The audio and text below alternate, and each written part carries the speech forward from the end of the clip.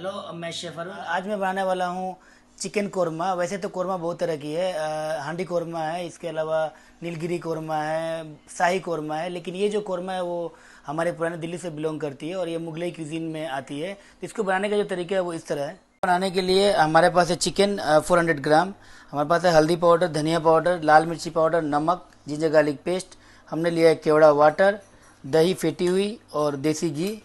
इसके अलावा हमारे पास ब्राउन ऑनियन है, जिसे हम लास्ट में क्रश करके डालेंगे। इसमें हम कोरमा पाउडर यूज़ करेंगे, जो पहले मैं बना रखा हूँ। इसको बनाने के लिए आप सेम इस रेसिपी को फॉलो कर सकते हैं। आप शाही जीरा बड़ी इलायची, दालचीनी इलायची थोड़ी सी जायफल जैतरी और तेज़पत्ता को हल्का सा पैन में ब्रोल करके और इसे ब्लेंड कर ले मिक्सी में तो पाउडर इस तरह का तैयार हो जाएगा।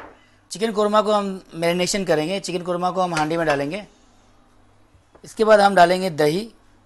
दही 400 ग्राम मीट में हम दो से 250 ग्राम डाल सकते हैं। आपको जितना ग्रेवी चाहिए आप उतना डालें। हमने डाला है करीब 250 ग्राम। इसके अलावा हम डालेंगे नमक। नमक स्वाद अनुसार।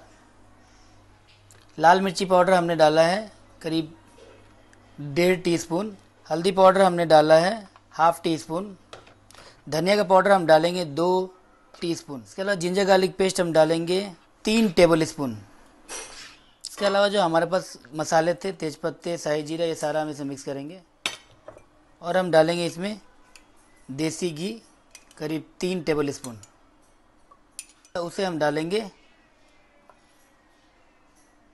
तीन टीस्पून हम इस सबको एक साथ मिक्स कर लेंगे। मिक्स करने के बाद हम इसे अ, 25 से 30 मिनट तक रेस्ट देंगे।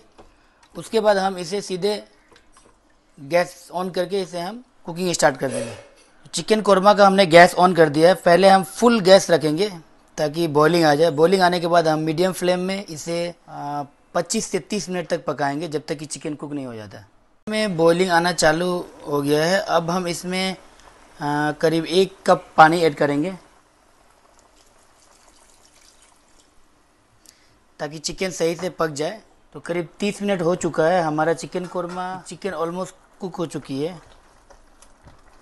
आ, अब हम इसमें ऐड करेंगे फ्राइड ऑनियन जो तीन मीडियम साइज़ के ऑनियन को हमने फ्राई किया है। और फ्राई करके क्रश कर लिया था। तो इस ऑनियन को अब हम इसमें ऐड करेंगे।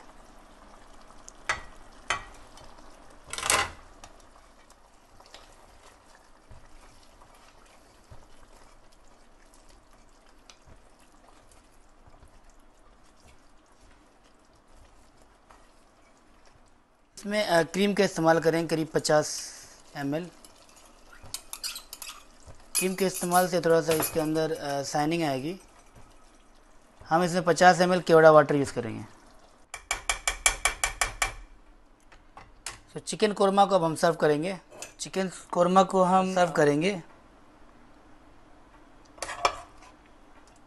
हम इसको गार्निश करेंगे आलमंड आलमंड स्लाइसेस से। और हम डालेंगे इसमें थोड़ा सा जिंजर जूलियन और मिंट के पत्ते।